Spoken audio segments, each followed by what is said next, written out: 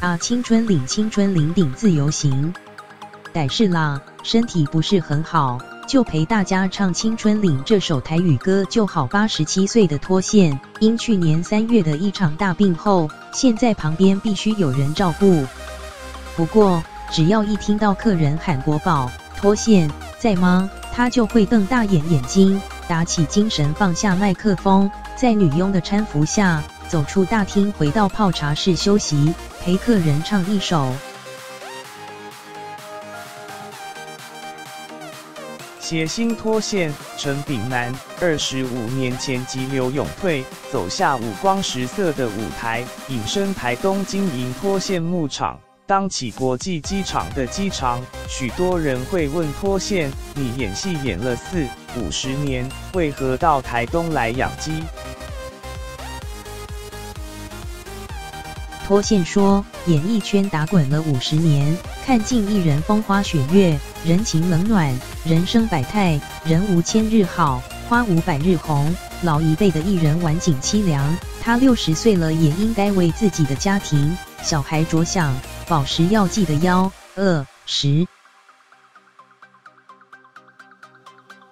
刚好当时和他配合的制作人也到美国，所以他就跟着退休。民国八十二年左右，决定带着全家到台东打拼。脱线说，他在鹿野乡台九线出鹿大桥北端桥头买一块的，便宜的让人不敢相信，一平的比一平榻榻米还便宜。他买了一二十公顷，不过后来才知道那块地是很贫瘠的沙石的。刚开始种椰子，种了将近二零零零颗，最后只剩下二颗。后来改种木瓜，又得到病毒，无法采收。既然这块的不适合农作，那就改畜牧。于是养了近百头母的台湾土羊，自己割草喂食。但土羊娇小，肉不多，有人建议他引进国外的公羊交配。没想到是一场噩梦。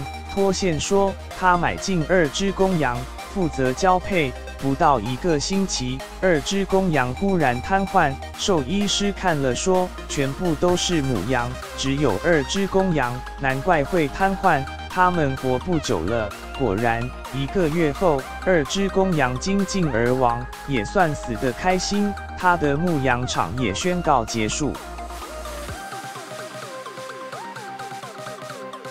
演的是喜剧，没想到真实都是悲剧。脱线欠下一屁股债，但悲剧还继续上演。脱线说拼最后一次了，决定养鸡，自己动手砌墙、焊接、盖鸡舍，新建脱线牧场。没想到第一年就碰上台风，全部又被老天爷没收了。我又没害人，做坏事。脱线说他不服输，于是贷款重来。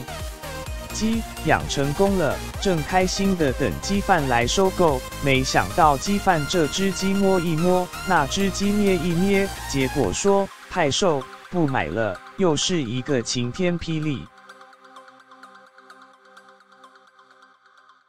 脱线决定自己养自己卖，推出战斗机品牌，喊出脱光衣服带出场。加五十元，发挥他的喜感天分，许多游客都被他的行销噱头吸引。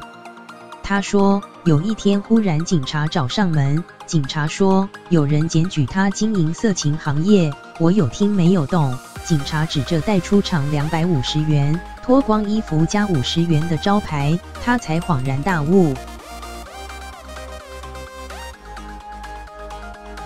他向警察解释。脱光衣服的意思是帮忙杀鸡，毛拔光光要加五十元。脱线说，刚开始卖鸡还是亏钱。九二一大地震重创台中，他看到还有人比我还惨。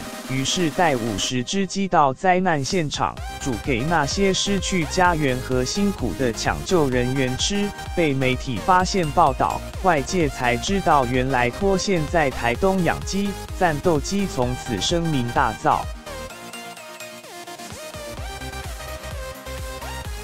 脱线的战斗机从两万只到二十万只，也从地方的机场变成国际机场，校将变成机场，奋斗了十年，开始转亏为盈。接着脱线扩大规模，经营餐厅。脱线说，刚开始是亲朋好友到台东找他，他杀鸡和煮一些野菜招待，但大家都说好吃，于是就这样一桌、二桌开始经营餐厅，并且煮大筒子鸡。从此脱线的人生从悲剧又回到喜剧，筒子鸡成为全台美食，脱线创造了筒子鸡王朝。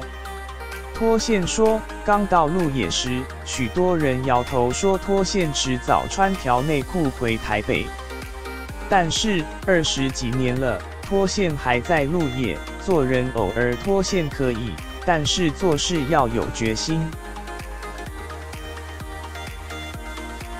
中央社。